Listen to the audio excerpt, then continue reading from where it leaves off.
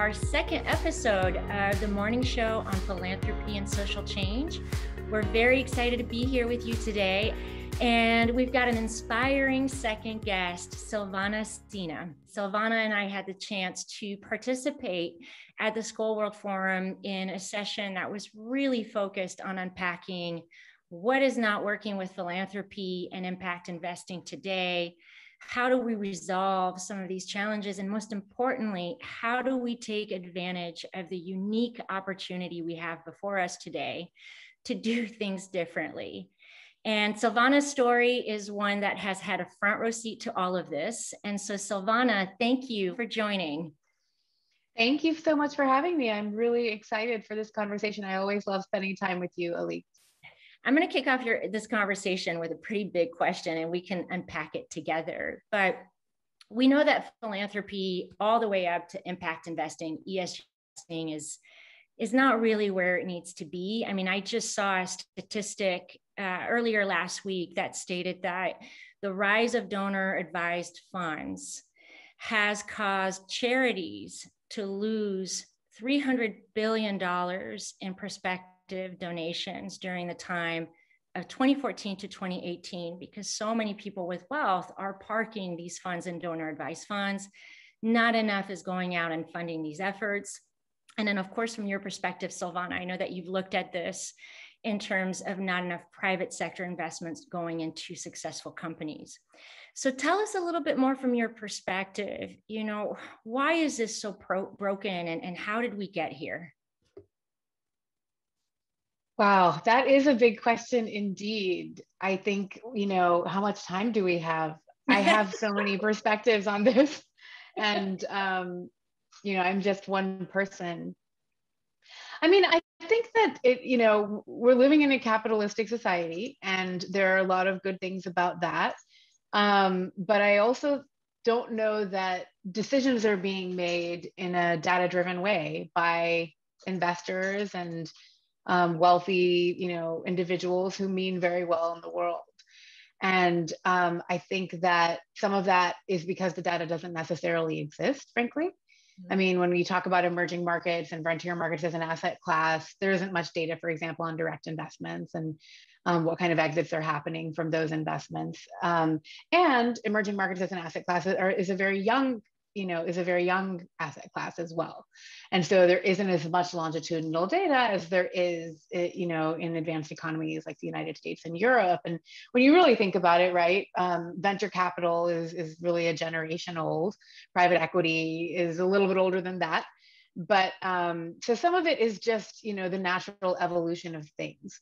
Um, but we are at a point, I believe, that we do have enough information to understand certain things but the data hasn't caught up to decision making, right? So, for example, um, in my you know in my view, there's every reason now, given the trajectory that the world has gone, for us to be making investments in in the private sector in emerging economies that are now middle class economies, largely due to tremendous philanthropic efforts. Bangladesh is a great example of that you know, the Gates Foundation, BRAC and Grameen and other organizations have had a huge role to play in bringing Bangladesh to middle income status and improving its performance on social development indicators, which have formed the backbone of this now very strong middle class society.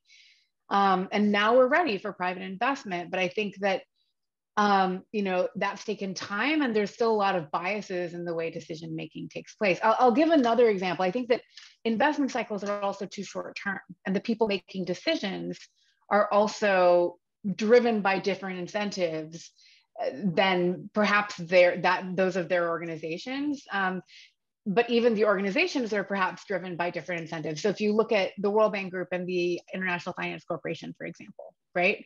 The IFC has still not made a single investment in healthcare in Bangladesh, even during a pandemic, right? And so, and when you look at the allocations the IFC is making in healthcare right now, it's really focused on PPE and vaccines, which is needed, badly needed, right? When we look at what's happening in South Asia right now, the surge that's happening across the region, we're trying to figure out how to manage the crisis. And so it's great that the IFC is focused on that, but those are only short-term band-aids. What are mm-hmm. we going to do to create systemic change? And the things that you're going to do to create systemic change are also going to be the drivers of longer term wealth in the region and so but but just because of the way investment cycles work and because of the way life that's happening right now is is, is evolving unfortunately sometimes it, it, we don't have the benefit of that perspective absolutely and there, there's something that you're saying that it really strikes me as well which is i mean you know ha- having been in the front lines of you know raising philanthropic capital and, and building strategies and also being in the impact investing trenches at water equity it often feels like we're always behind you know it's like we are never taking advantage of these opportunities that it may not may not have all this perfectly proven data. But you know early investors in apple for instance did not have all the data. When the world needed to find all the resources you know rightly so to develop a covid-19 vaccine we didn't have all the answers but we go for it. And when it comes to really doing things differently as it pertains to system change, right? Addressing poverty, all, all of these big issues. All of a sudden, this desire to take risks, to be innovative, to, to bet on something different that has already a track record and potential for growth seems like pulling teeth, you know, and this is something that that was really hard when even when we were raising our first impact investment fund at water equity mm-hmm. you know and there were all these data points pointing to the importance of water and then it's like five years later then investors start to show up and you know we just missed that opportunity at the beginning to go big five years ago and i, I feel like this mm-hmm. this went through my mind when we saw all this news about india and I, i'm probably simplifying a little bit but when you see what's happening in that country i can't help but think so much of this was preventable. I mean, what do you think is going to happen when a significant proportion of the population does not have access to water and basic services? And so, bringing this back to you, you know, something that really struck me when we spoke was, you know, hearing about Praava, uh, Health and, and seeing what you're doing and, and knowing that your business tripled in growth, you know, year after year after year and it's still hard for it's still difficult for you to bring venture capital investors to the table. How is that possible sylvana tell us a little bit more about that experience. Well i think there are inefficiencies in the market for capital right? There's there's pockets of money that exist in the world. And unfortunately i don't think that those pockets of money that exist necessarily match up to a the things the world needs but also b necessarily the best businesses that are out there. Mm-hmm. and that's i think that's just the reality you know? Um, i have found you know in my experience well first of all i'll say during the pandemic it's very surprising to me to see that there's so much money being thrown at healthcare in advanced economies especially in the us you see crazy deals happening in healthcare. Mm-hmm. it's not happening in emerging and frontier markets. Um, even though as you we are you know there's there's not a better argument for investment in healthcare infrastructure than what we've all lived through you know in the last 15 months. And yet despite that those allocations are not happening right? I mentioned the ifc but it's not just the ifc across my colleagues my uh, you know healthcare entrepreneur colleagues across emerging and frontier markets are saying the allocations are not there at the levels that they were even pre-pandemic and I think some of that is because investors are risk averse due to the volatility in the financial markets. Um, but more specifically, I think in healthcare, what I've observed is to some extent a bit of a lack of imagination in terms of innovation in healthcare. Mm-hmm. And this is not to be overly critical because, again, every fund has its own mandate, and its own reasons for making its decisions, which I fully respect. But I think that if you look at advanced economies again, you look at China, Europe, US, you see healthcare models that are similar to mine, which is a brick and click model that combines infrastructure, technology, which is the way we all interact with the world now, right? sometimes we want to go to the store, sometimes we want to order online, right? And that's how we're interacting with healthcare as well. Sometimes we want to do a telemedicine visit, sometimes we want to order our drugs online, sometimes we have to go in and have an x ray or actually be examined by a doctor. Mm-hmm. This is how our lives are now. But when it comes to healthcare investing in emerging and frontier markets, what I've found is that the traditional venture capital funds are really focused on pure play digital health Um, they're not really looking at hybrid models like ours. That's number one. And then on the other end of the spectrum, you have the pure play infrastructure investors, which are really looking to deploy much larger sums of capital. Um, some of them, you know, their minimum ticket size is starting at 30 or 50 million dollars, which I, at my stage of my business, can't absorb at this point, right? And so I think those are some of the levels of challenges that we face is that it just it's just taking time, as you said, for the data to catch up to the reality of decision making. Absolutely. And I know that we have 10 minutes left. And so I, I really I want to circle back on the most important question of our chat, which is forward looking, knowing that everything you just shared today was was incredibly insightful. But you know, I think about this big commitment, right? That Larry Fink, you know, the BlackRock team makes every year in January, and this this particular year, whereas you know companies need to eliminate greenhouse gas emissions by 2050. And I'm just going to tie that goal with every other goal that's going to impact our ability to do this. And it means that we really have 10 years, right? The, the new 2050 is really 2030 because what we are mm-hmm. able to do in the next decade is going to determine if we come even remotely close to that goal in 2050.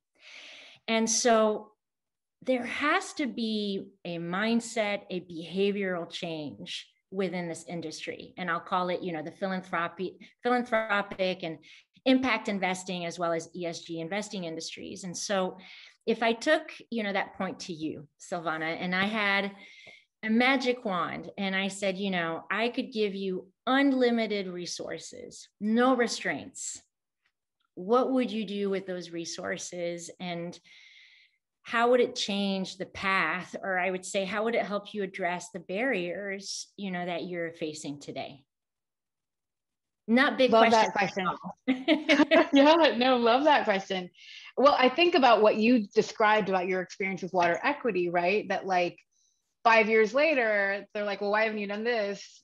We'll give you money to do this. And if you had had the money five years ago, you would have done it, right? And so my company is in its fourth year of operations now. And as you mentioned, we've been you know graced with really tremendous growth and really grateful to be able to serve the community especially during a global pandemic um, there's a lot that we haven't done that we could have been doing, you know, and um, a lot that we haven't done that we could have, that we've done that we could have done better, you know. Um, and so, wow, if I had unlimited resources, there's so many things that I would do with it. I think number one is really deeply investing in human capital um, really improving um, our access to trainings. There's a whole business plan to be written around actually a separate training institute. Um, the nursing and technician shortage is even worse than the doctor shortage in Bangladesh, actually.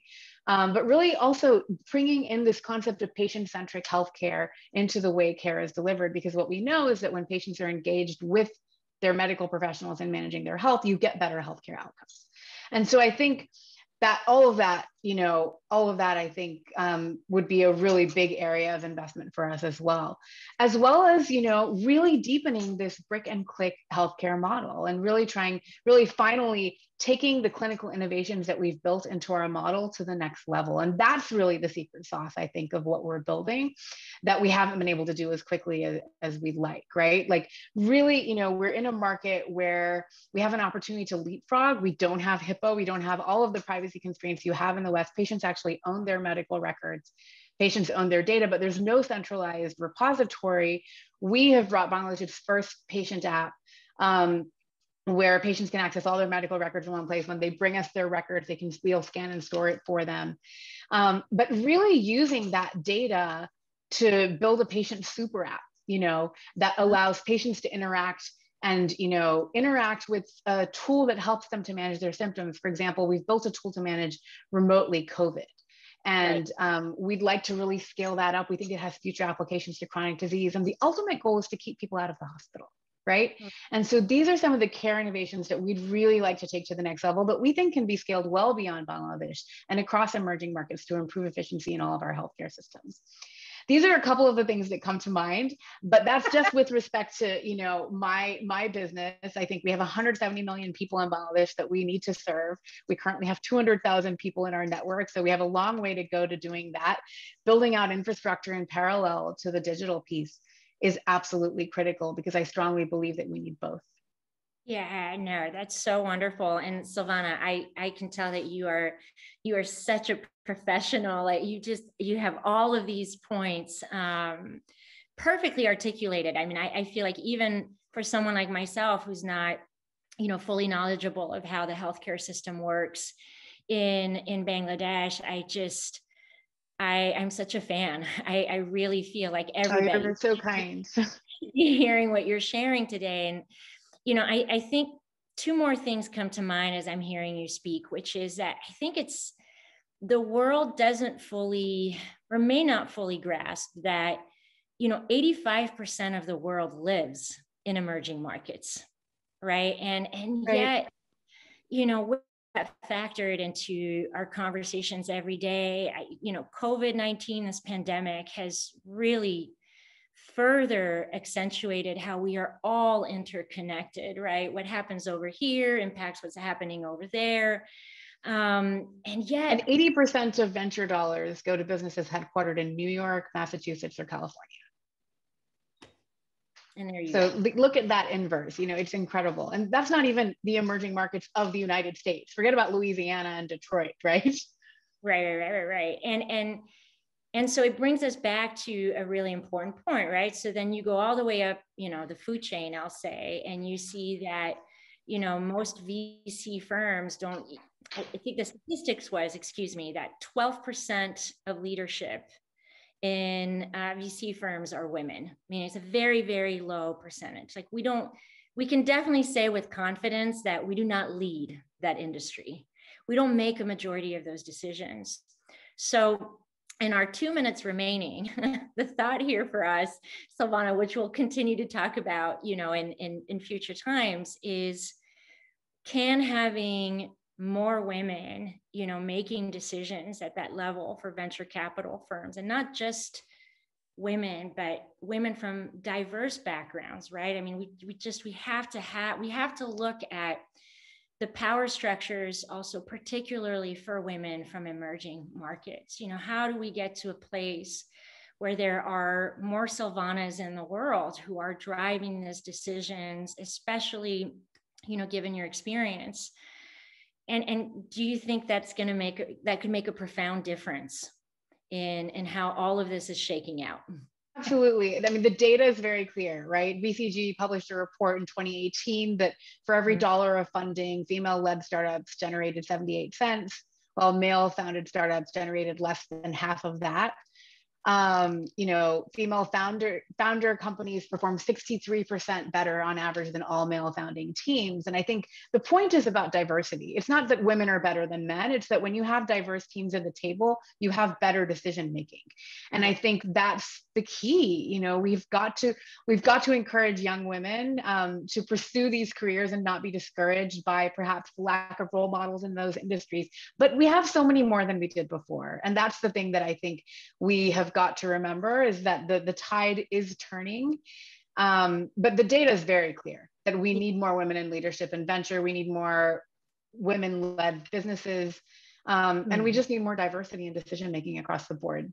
So, Sylvana, tell us a little bit more, something you've touched upon in, in, past conversations that we've had.